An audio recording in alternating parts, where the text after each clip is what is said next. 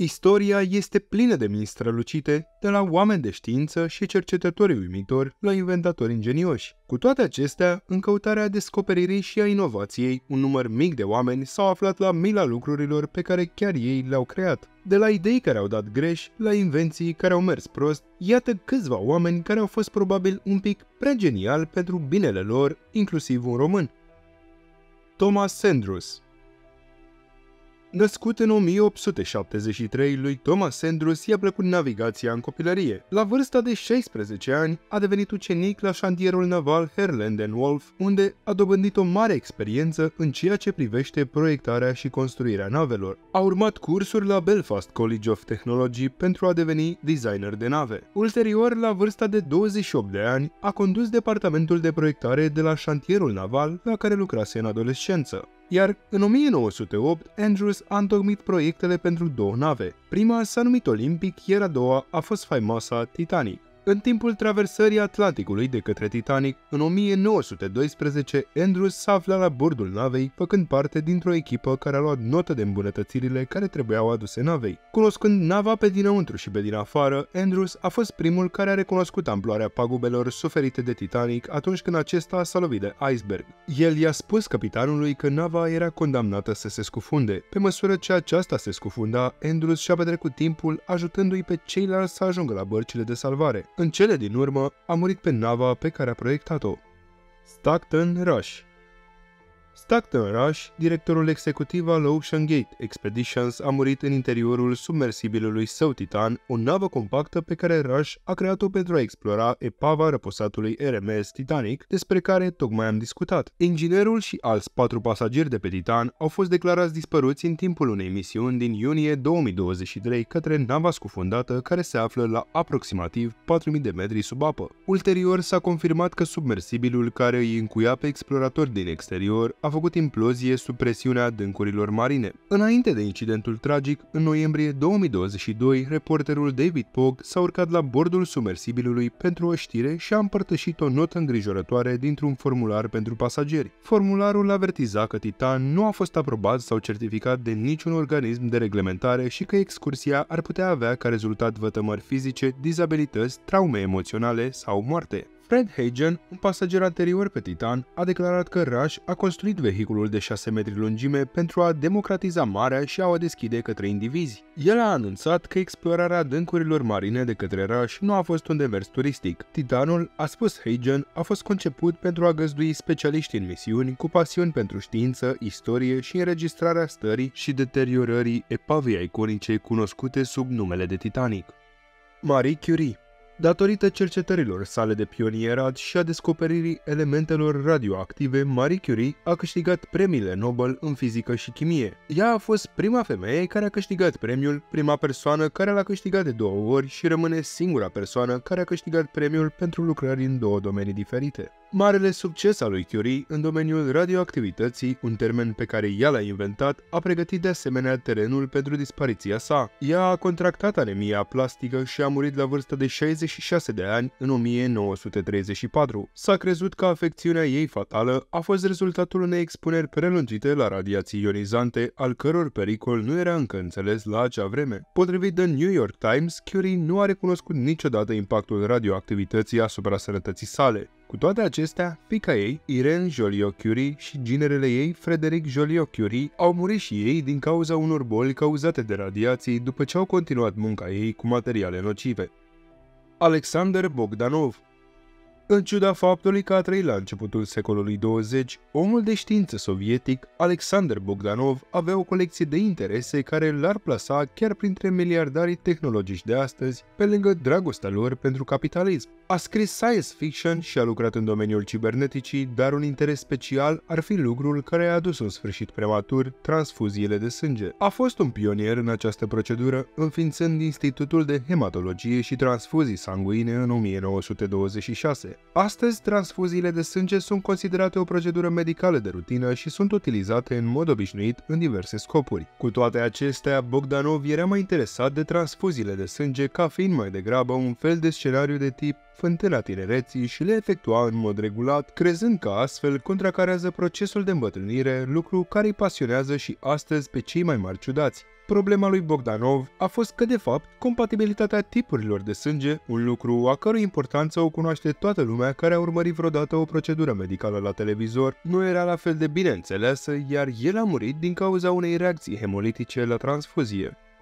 Aurel Vlaicu Aurel Vlaicu a fost un inventator din țara noastră care a trăit între 1882 și 1913. Cunoscut ca fiind pionierul român al aviației, a proiectat numeroase vehicule zburătoare în timpul vieții sale. Primul său proiect avea aripi care băteau, dar a fost abandonat deoarece credea că avioanele cu motor erau viitorul. În 1909, Aurel și fratele său au creat un planor care putea menține o înălțime de 10-15 metri. În octombrie 1909, el a realizat proiectele pentru pentru un model de debug care folosea un motor format din corzi de cauciuc răsucite pentru a învârti o elice. Bugul a impresionat câteva persoane de rang superior care au fost de acord să financeze aventurile aeriene ale lui Aurel. Cu sprijinul nou găsit, Aurel a inventat Vlaicul I, ceea ce l-a făcut primul inginer român de aeronave în timpul zborului de încercare din 17 iunie 1910. Acest lucru a dus la un succes și mai mare și la sprijin permițându-i să producă Vlaicul 2 la începutul anului 1911 a zburat cu Vlaicu 2 în jurul României pentru a face publicitate puterii aviației. La 13 septembrie 1913, Aurel a luat Vlaicu 2 deasupra munților Carpați pentru a participa la un eveniment organizat de Asociația Transilvană pentru Literatura și Cultura Poporului Român, alias Astra. Din motive necunoscute, avionul s-a prăbușit, ucigându-l pe Aurel la vârsta de 31 de ani.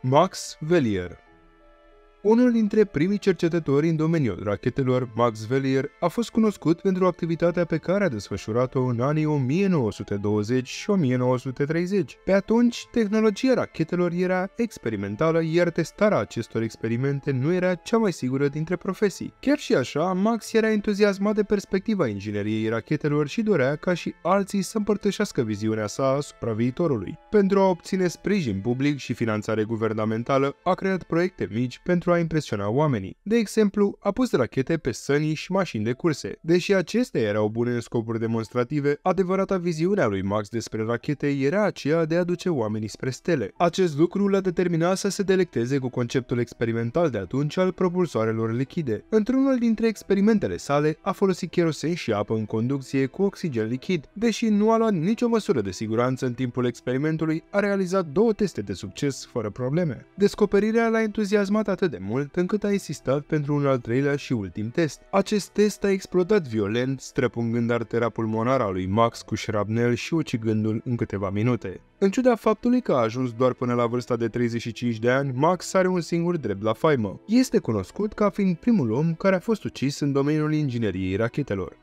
William Bullock William Bullock a avansat foarte mult industria editorială atunci când a introdus presa rotativă cu bandă în 1863, o versiune îmbunătățită a presei originale a lui Richard Marcherow, realizată cu 20 de ani mai devreme. Folosind noul dispozitiv al lui Bullock, operatorii nu mai trebuiau să introducă plictisitor hârtia manual în mașini. Presa de tipărit se autoregla și încărca automat cantități mari de hârtie în role. În 1867, Bullock și-a blocat piciorul într-una dintre mașini în timp ce instala o presă rotativă cu bandă pentru ziarul Philadelphia Public Ledger. Rănirea a dus la cangrenă, iar Bullock a murit în timpul operației de amputare.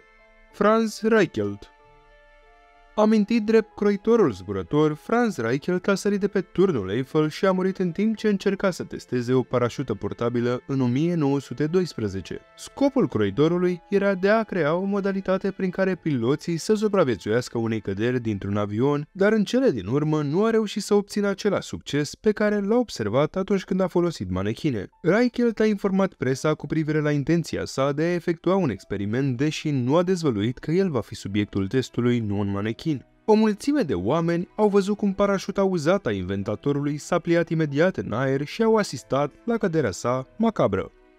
Li Si Născut în anul 280 înainte de Hristos, Li Si a fost un jurist chinez în timpul dinastiei Qin. După ce a intrat în statul Qin în 247 înainte de Hristos, a început să servească sub comanda regelui Zheng ca ministru. Printre acțiunile lui Li se numără ajutorul acordat împăratului pentru a standardiza greutatea monedelor, contribuția la construcția Marelui Zid, influențarea unui sistem de scriere unitar și ordonarea actului de ardere a cărților de istorie. De asemenea, a inventat metoda de execuție cunoscută sub numele de cele cinci dureri. Victimei îi se tăia nasul, precum și o mână și un picior. Apoi victima era castrată. În cele din urmă era tăiată în două de la brâu. Li, Zhao și Huhai, un fiu al regelui Zeng, au falsificat un decret prin care se declara că Fu nu contribuise la eforturile țării și că trebuia să moară. După ce Fu s-a sinucis în disperare, Zhao a preluat controlul. Cu toate acestea, el l-a trădat pe Li, acuzându-l pe nedrept de trădare. Li a fost executat prin metoda celor cinci dureri în 208 înainte de Hristos.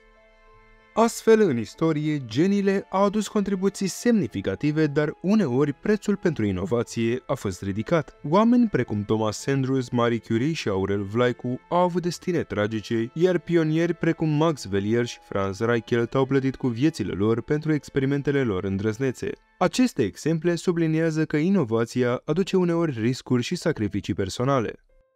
Acesta a fost episodul nostru. Dacă ți-a plăcut, nu ezita să te abonezi la Doza de Istorie pentru mai multe videoclipuri interesante. Vă doresc o zi extraordinară!